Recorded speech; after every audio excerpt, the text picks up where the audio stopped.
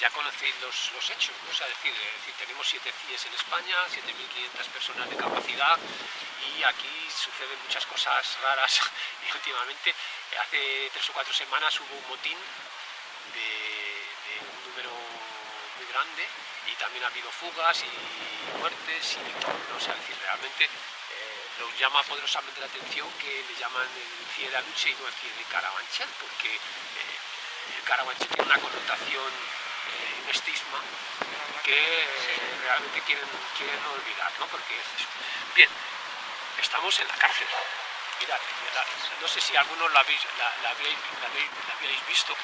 Era, era este edificio increíble, era eh, una estrella de ocho puntas con una eh, eh, cúpula monumental en su centro y una serie de galerías.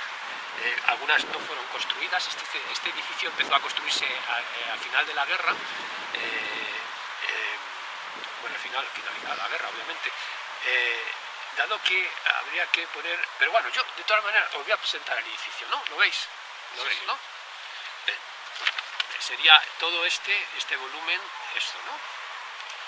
¿Vale? Esto es lo que hay. Esto, nada.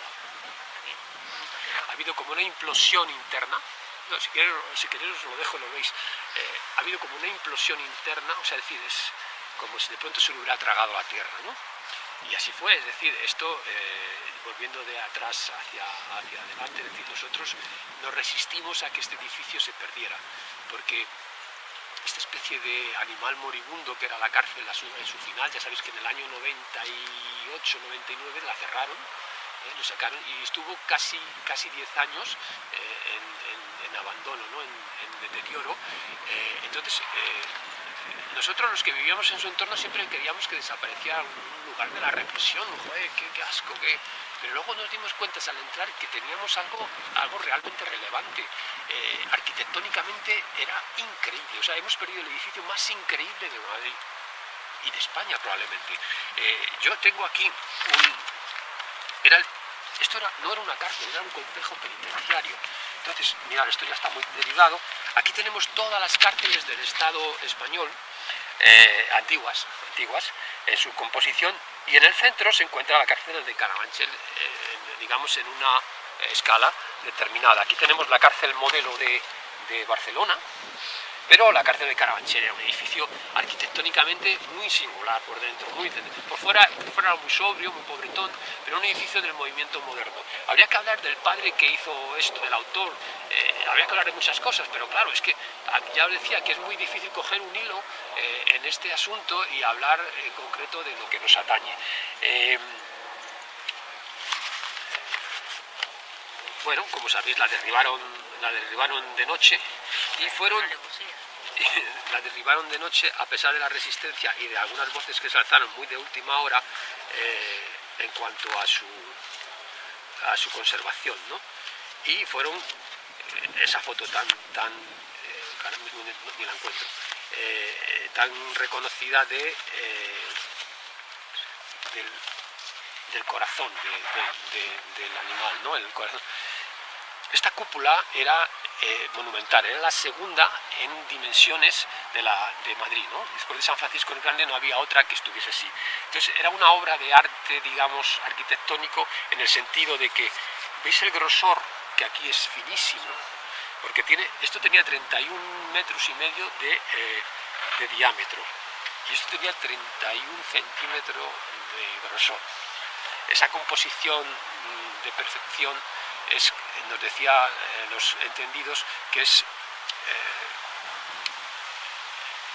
bueno, nos decían muchas cosas, entre, entre otras que el, el arquitecto se había permitido el lujo de hacer exactamente el mismo sombrero en la Catedral de Santa Sofía de Estambul, en sus mismas dimensiones, se permitió el lujo. Para construir esto fue muy, muy increíble. ¿Cuándo se construyó esto? Pues casi 15 años desde el comienzo. ¿Y cuál fue el comienzo? En 1940, eh, la cárcel modelo de,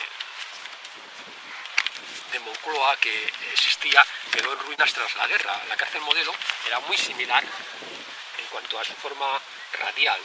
Aquí la tenéis, esto eh, estaba donde está hoy el Ministerio del Aire. Está lo Sí. del ayuntamiento, de la Junta Municipal de allí.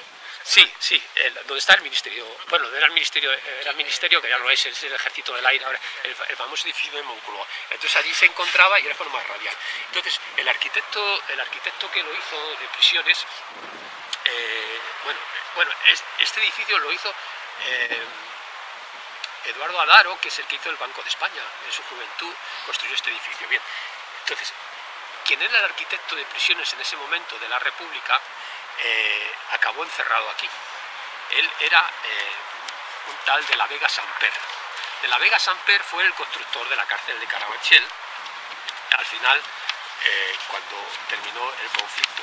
Pero bueno, un poco para hacer un poquito de, cultura con, este tema de, de los arquitectos, de la Vega Samper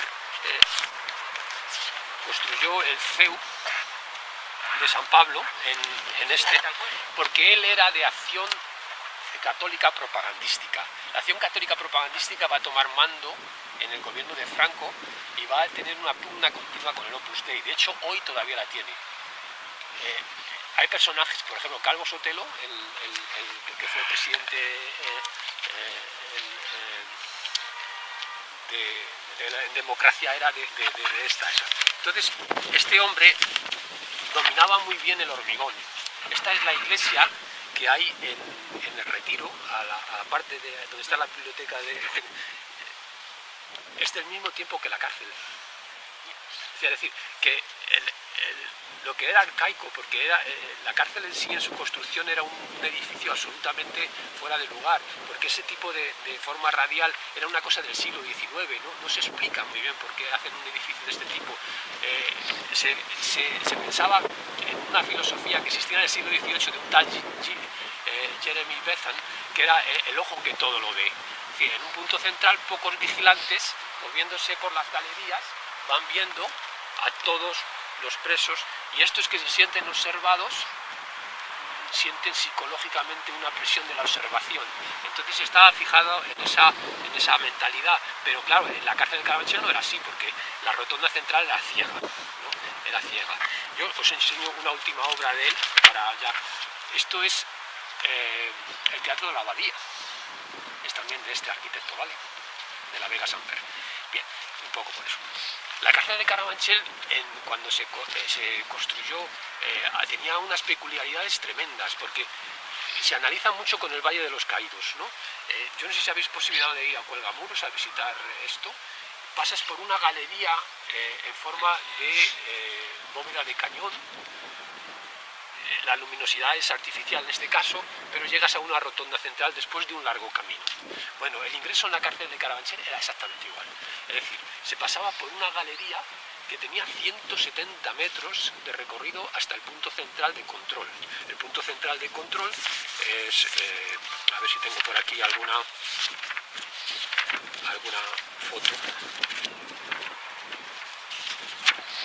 Punto central de Bueno, nosotros aquí, sí, aquí estaría. Bueno, es una foto un poco rara, estrambótica, porque no está hecha. Eh, entonces, esta galería eh, tenía una luz cenital y entonces la bóveda de cañón eh, crea unos sonidos, la acústica es muy eso. Entonces, cuando se van cerrando verjas, las pisadas, el sonido, esa, esa cosa tan increíble de recorrer, bueno, primeramente tenías que pasar una sección que te desnudaban, ¿eh? Atención, te tenían que desnudar, te miraban el ano, te miraban todo eh, y te daban pues un jabón, dos rollos de papel higiénico para un mes, eh, una sábana, una manta y entrabas a un lugar muy mugriento, ¿eh? O sea, lo que el final, bueno, es algo... Os voy a, os voy a dar un, un este para que lo veáis en internet, año 87, hay un documental desde dentro de un director que habló con nosotros que se llama Garijo, ¿eh? Adolfo Garijo, que se llama La otra orilla. ¿eh? La otra orilla, entonces es un documental que dura media hora, está en dos partes colgado, y entonces se ve eh, ese final, que claro, estoy dando muchos saltos, pero eh, el final es, se ve lo, lo mugriento que es este lugar, ¿no? O sea, es que parece mentira que, que ya en, en los años 80, 90, cuando está cerca de, de- de clausurarse la cárcel, tengamos a los seres humanos en esas condiciones, ¿no? A pesar de todo lo que hayan podido cometer, ¿no? Porque al final la gente se pudre en la cárcel, pero la gente sale, pero sale peor, ¿no?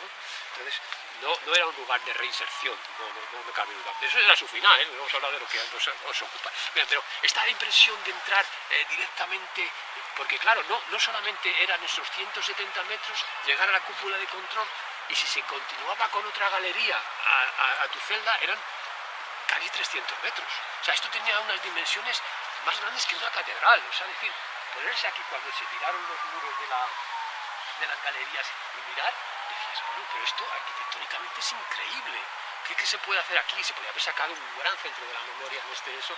Pero claro, luego está la piel de este inmenso monstruo, porque los huesos ya hemos visto que son muy interesantes, se veía el hormigón por dentro, era, tenía una luz sobrecogedora, porque era oscuro por abajo, un, este ajedrezado, pero le daba, bueno, aquí está una foto muy, eh, muy deteriorado ya en su final, pero esta luz cenital que le producía era estremecedora. Una cárcel muy fría, ¿eh? O sea, si nosotros tenemos un poco de fresco aquí, eh, aquí no había calefacción, ¿eh? No había calefacción. Eh, bien, la piel de la historia viene por los, eh, los años 40, cuando, eh, tal como lo veis ahora mismo, es cuando van a salir nuestra cuerda de presos desde un lugar que estaba aquí, un reformatorio, a, a, allanar estos terrenos. Hay que decir que en el año en 1936 la población reclusa eh, eran 24 millones de personas, ¿vale? Eh, y nadie sabía que iba a suceder una guerra, pero en ese momento, a pesar de que era un periodo conflictivo socialmente, había 12.000 presos, 12.000 presos a nivel nacional. Cuando terminó la guerra, había 80.000 presos en Madrid, solo en Madrid, 80.000. Entonces necesitaron eh, todo tipo de recintos, especialmente religiosos, en concreto 21, eh, las comendadoras, la, eh, este, dos cárceles aquí en Carabanchel, un, que eran dos reformatorios, el reformatorio del Príncipe de Asturias y el reformatorio de Santa Rita, que se llama. En fin, una serie de, de eso, y claro, necesitaban imperiosamente construir